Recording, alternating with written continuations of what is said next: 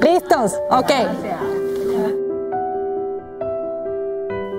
Si tú alguna vez has pasado sola criando hijos, seguramente te puedes identificar que ese trauma de estar sola o de un abandono puede ser muy difícil de superar. Si tú que estás escuchando esta historia y has pasado por un aborto, puedes estar de acuerdo conmigo que es una de las experiencias más traumáticas que una mujer puede vivir. Cristina Valencia.